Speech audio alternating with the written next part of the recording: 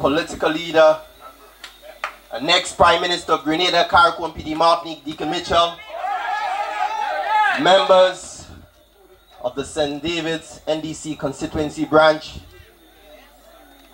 and to the people of Vincennes, Chamfla, Dudma, Child Island, Providence, Cruz, Windsor Forest, a special good evening to you all. I stand here tonight not as a stranger to this community, not as a stranger to the people of this community. I stand here tonight as a friend, as a brother, as someone who have roamed this community playing football, basketball, and just socializing with the people. I stand here tonight to endorse Brother Dickon Mitchell as the next Member of Parliament for St. David.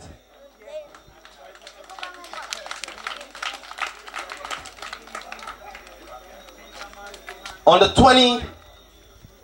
23rd of this month, I mean next month, first I want the election to call fast.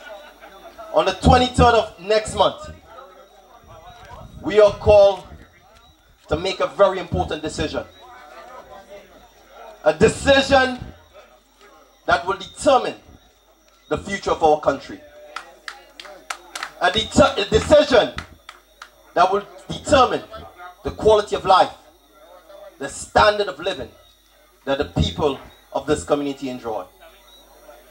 My friends, for far too long, the people of St. David's have been crying out for proper representation.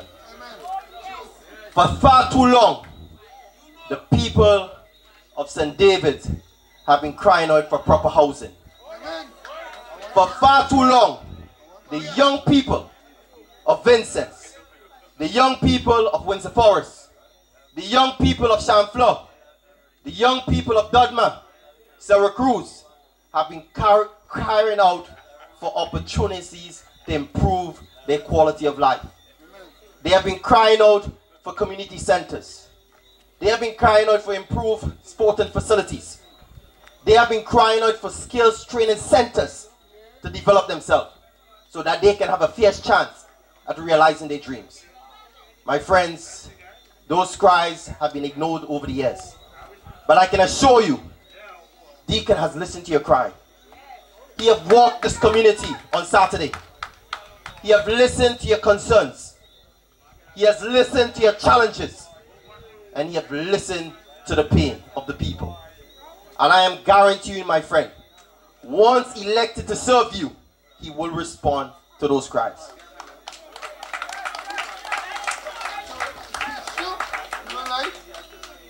to the people of St. David. You can find in Dickon a leader. Not just an ordinary leader that will jump and dance and whine, but a leader that would lead with compassion. A leader that would lead with empathy.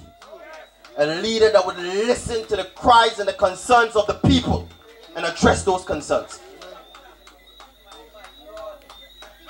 My friends, I am very concerned about the direction of our country. I have traveled this country over the years, serving as the former CARICOM Youth Ambassador for Grenada. I have listened to the concerns of young people. They have been trapped in a cycle of poverty. And they want to escape that bondage. I say to the young people here tonight, those who are under the Imani program, those who are dependent on the safety net programs, there's a better future. There's greater possibilities. Yes, yes, yes. You are more than just an Imani worker. You are more than just citizens that are just eating the scripts. You deserve to sit at the table. You deserve to enjoy a good meal. You deserve good quality education. You deserve proper healthcare services. And you deserve a good retirement. My friends, out of this dark political night, a bright day will emerge. Once you elect Dickon Mitchell and the NDC to serve you, Grenada will transform. We will prosper and we will go to new heights of economic development and prosperity. My friends, I am excited. I am optimistic because I know on the 23rd of June, the people of St. David, the people of Grenada, the people of Carriacou and Martinique will send a very strong message to the NNP that change is going to come because we believe in Grenada and we believe in a better future for our country. My friends, are you ready for change? Are you fired up for change? Say change is coming.